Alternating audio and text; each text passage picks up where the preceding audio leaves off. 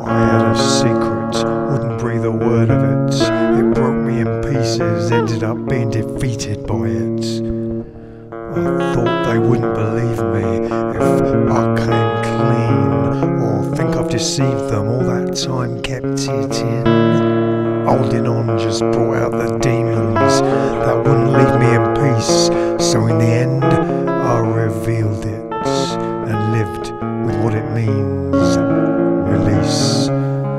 Of feelings, a night's sleep, and lighter dreams.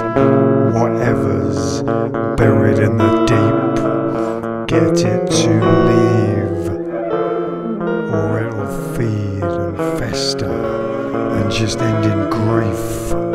Best to confess it.